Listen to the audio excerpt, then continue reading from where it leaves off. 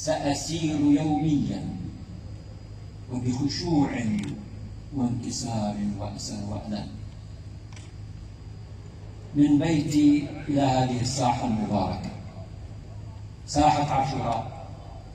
ساحة الحزن الطاهر.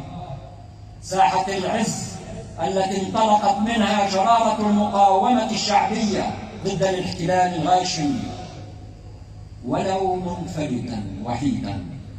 أستمع إلى المجلس الحسيني لفضيلة الأخ الشيخ أحمد الدر سلمه الله. ينقل مباشرة عبر مكبرات الصوت وعبر وسائل التواصل والمحطة التلفزيونية المحلية. عسى أن يقبل سيد الشهداء من مدينته مدينة الحسين مدينة كربلاء الثانية هذا المجلس الذي أصر على إحيائه وسط كل هذه الظروف الضاغطة. حياك الله. يا حاملة الأمانة. نبطي الجوار الكريم. نور الأغر. من أجيالك عبر قرون وعقود طويلة. ولكن وفي السياق لست أطلب من أحد.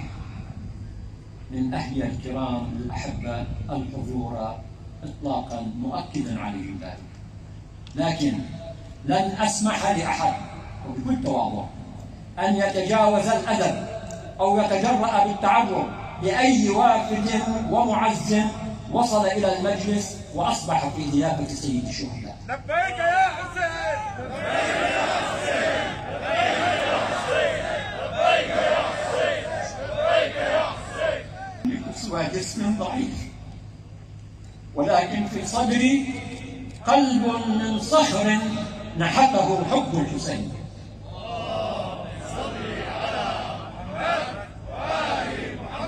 فلا تختبروني أيها الأعزاء الكرام الكبار. لا تختبروني في موضوع الحسين أبدا. سيبقى محفورا على جبين الخلود. وفي صدر كل موال في مدينتنا الطيبة وجوارها الكريم على حبك يا ابن الرسول يكبر أطفالنا ويشيب رجالنا والسلام عليكم.